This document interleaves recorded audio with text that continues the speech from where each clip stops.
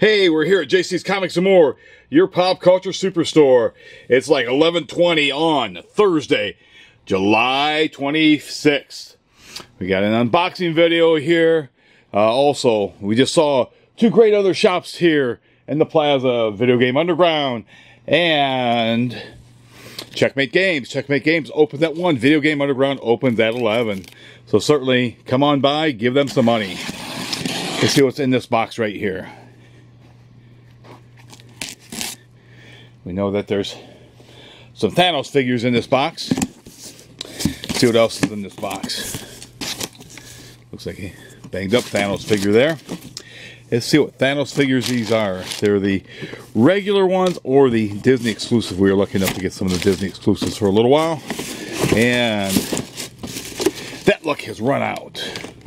We just got the regular Thanos figures because the Disney exclusive Marvel Thanos from the movie need to go to Disney because Disney does not make enough money. They need all the cash they can get. So that extra scraps of change that they get certainly certainly goes to Disney. But that's it for this box. Just the Thanos uh, action figures. Other than that, you have yourself a very good afternoon. And uh, real quick, we are still processing uh, these books over here. Uh, to be bagging up and pricing up more comics later this afternoon. We might be processing the Batmans. We got some cool Batman comics here.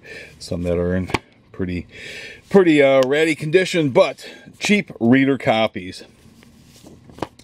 We're gonna go through these real quick like to make this video a little bit longer than 30 seconds.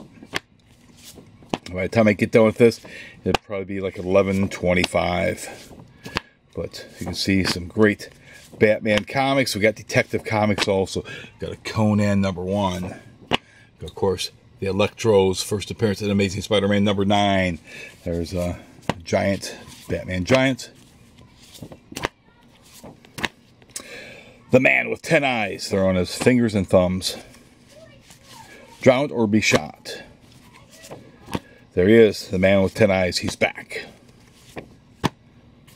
The sinister return of the demon, the daughter of the demon.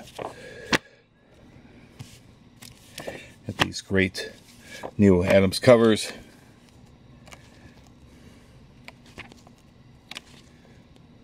Night of the Reaper. Don't fear the Reaper. Believe that's a Wrightson cover.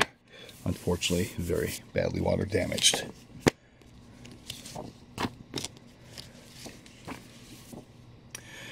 Lots of hanging covers, suicide covers, Batman suicide notes, Batman hangings. Lots of uh, suicide covers on these Batmans I've noticed over the uh, years as far as getting collections in. Uh, I've got the crossover with the Shadow. Another Batman 100 page spectacular. We talked about these uh, last night. I showed the regular 100 page spectaculars. I didn't go through the individual ones I have, like on Batman, uh, Tales of the Unexpected, um, Superboy.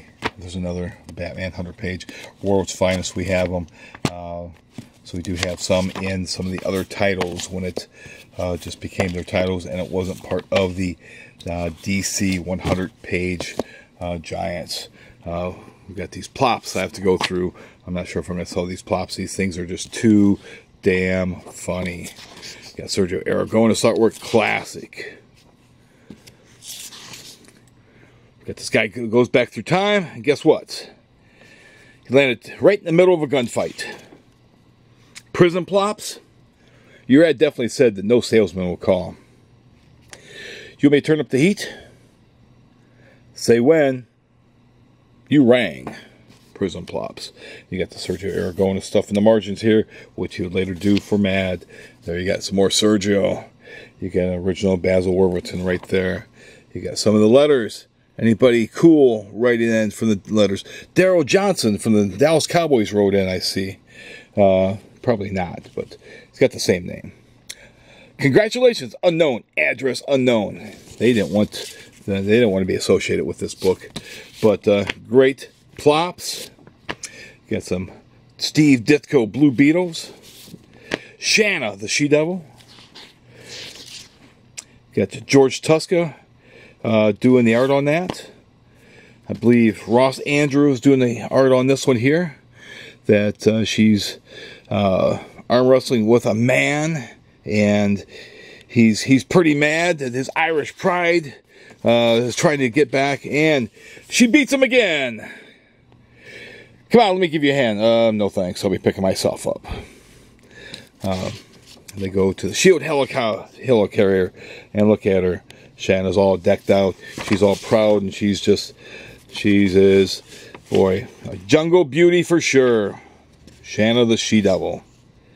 They're proud to have her there. Who wouldn't be proud of that? Great Ross Andru artwork. I think there's more Ross Andru artwork there. Because Ross Andru did not get enough credit for his classic uh, cheesecake photo uh, artwork or drawing of beautiful women. Uh, Ross uh, could certainly do that. You got Gil Kane on this cover of Gunslinger. There's another copy of Gunslinger. You got E-Man Joe Staton. Tales of Asgard. Jack Kirby. This all reprints. G.I. Tales. Prez, the first teen president. Issue number two. Challenge of the Unknown. War of the Subhumans. The Blue Extra Cult song. Beware the Subhumans. Challengers of the Unknown. Read it now. Remember forever. Taps for red. Okay, so I'm dead, but you guys have to carry on, or the chows are finished forever. More Challengers of the Unknown. Got a great Jack, uh, Joe Kubert cover. the Thing That Came Out of the Sea. Kirby Stuff, Showcase number 11, December, uh, November, December 1957 by Jack Kirby. You got Marvel uh, Spectacular reprints with Thor. Those are Jack Kirby reprints. Reprints the first appearance of the High Evolutionary. There's Jane Foster. The Growing Man. Can you face the secrets of the sinister house? Again, look at the way this purple just pops off of there. Jack uh, Sparling cover, sort of a realistic type cover. Got two copies of that issue. These are nice horror comics, like the way the reds and the yellows pop. These are all miscellaneous comics, of course. We've got Rawhide Kid, several Rawhide Kids. These are going to be cheap comics. If you like westerns, come buy these up. If you like Marvel westerns, this is your opportunity. Got some Blackhawks when it went to D when it went to DC.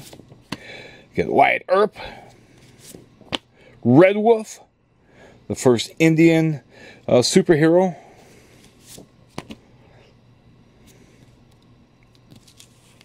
His stuff was uh, very, very cool and very respectful to uh, to where he came from, honoring several of their uh, traditions. You got Red Wolf. Unfortunately, it only lasted. This may have been the last issue. John Romita cover. Syd Shores. Oh, they got issue nine. And let's see. This probably was the final. Oh, look, it's Brother Voodoo. Issue 67. Brother Voodoo. Fantastic first issue. Interesting. This says, uh, if you look on here, Strange Tales 167 and that's Strange Tales 169. So was it actually supposed to be in 167 or did it get pushed back? And last issue of Red Wolf, the end for now. You got some of the Edgar Rice Burroughs, Weird Worlds, uh, covers by Joe Kubert. Got Mike Kaluta cover. Again, look at the way that purple pops. And then you get the Iron Wolf who's in there. Wanted, the world's most dangerous criminals. I bought these when I was a kid. This gave me a chance to catch up and to see some of these great stories and this great history that comics do bring. What issue number is that? Number five. See, somebody has gone through my wanteds and they've put them out of order. We have issue one. We have issue two. We've got three. There's four. Now there's five. Now there's six we put these in order, but people tend to go through and not pay attention to what they're doing. More work for us. Voyage of the Bottom of the Sea, based on the TV series, Richard Basehart. That's the only copy of this. That's issue number 10, because Gold Key never put their numbers on the cover. They've got some number here that who knows what that is. It's probably some secret CIA code. Flyman, The Peacemaker, Charlton Comics, Korak, Son of Tarzan, the first DC copy. These were published by Gold Key up until this point. Joe Kubert cover. Kubert did lots of these. The person on the inside, let's see, looks like it's Kubert, did the artwork, written and edited by Joe Kubert. Frank Thorne did the artwork. Man, that's cool. Frank Thorne before he did Red Sonja.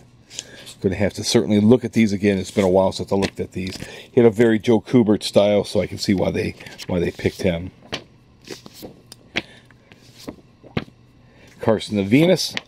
Carson of Venus, let's see, who was that done by? That was done by art and uh, script and art by Mike Kaluta.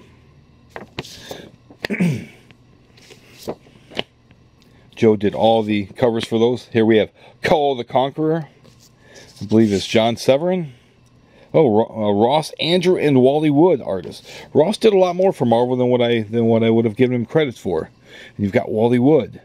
Um,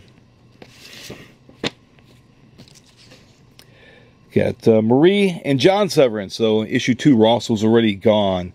Kull the Conqueror. They got issue three. That's a John Severin cover. And looks like Marie and John once again did that. Brother, great brother sister team for the comics. That's a nice cover there. Nice John Severin cover. Again, Gerry Conway, uh, Marie and John, based on characters by Robert E. Howard. Plot by John Jakes, edited by Roy Thomas. Skull Kull the Conqueror. this issue. Same team Gerry, Marie, John, and based on the story Swords of the Purple Kingdom by Robert E. Howard. Uh, we got another one. This is a, a Marie uh, and John cover. And Marie did the artwork, but John did not. You had uh, Frank uh, did the did the inking there. And then issue 11 became Kull the Destroyer beginning to postpone a new chapter in the Starling saga of the man called a Mike Ploog cover.